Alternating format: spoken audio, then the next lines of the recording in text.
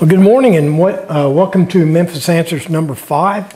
Uh, today we got a question about uh, the uh, Memphis Monday 231 release we, we released this morning. Um, and we had a question from Fred uh, Ledger concerning the the fact that we didn't show the lid repair where we cut it lengthwise and then put it back together to correct some warpage we had in the uh, in the board, and we also had two cracks. Well, let's knock off the uh, chit chat and get to the answers. Here's uh, Fred Ledger's question. He says uh, that the uh, restoration came all right. I would have See, he says he much prefers the stain that you applied uh, versus the paint, and I would have liked to have a closer look at the crack repairs. Um, certainly looked very flat. And I replied, uh, the cedar ball, balls probably work better. The oil does add a lot of smell, but it isn't uh, the subtle cedar smell we're accustomed to.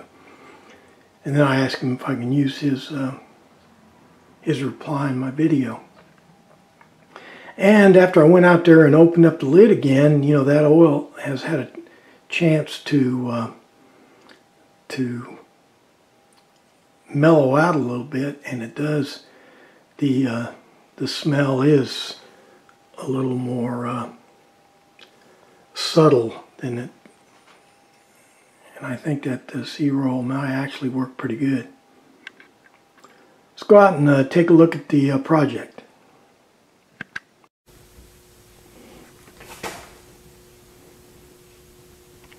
Here at the piece, you can see we got the uh, warp out of it.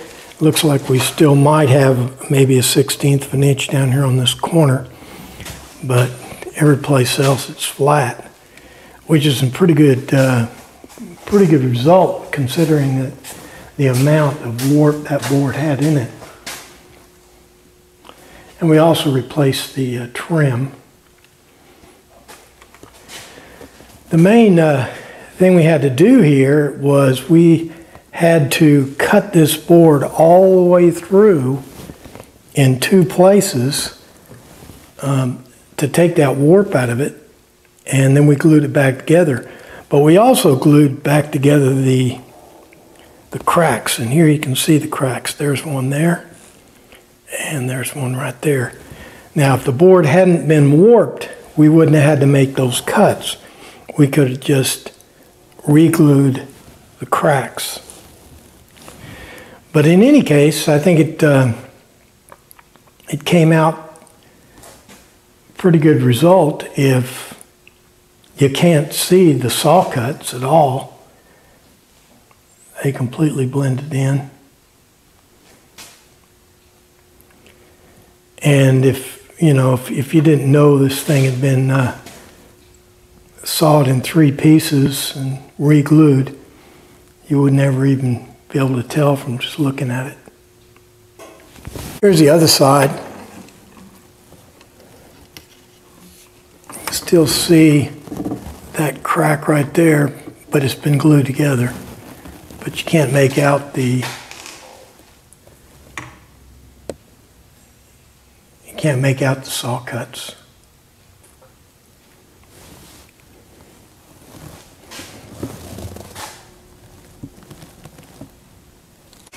Another uh, question was about the cedar oil, and I replied that I didn't think the cedar oil had quite the same smell as as cedar, but now it's been a couple of weeks.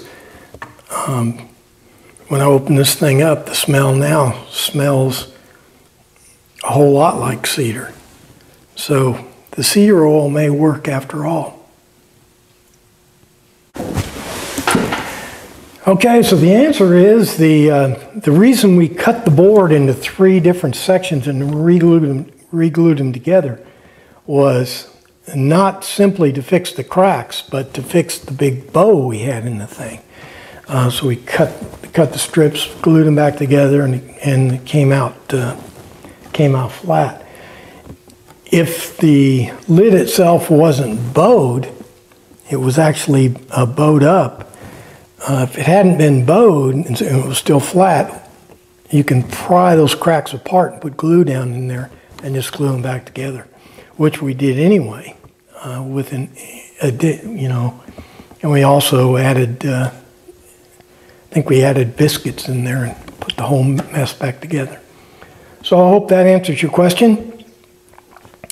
Uh, like, share, favorite, all the stuff do on the internet. Make sure you're back here next week. Thanks for playing along.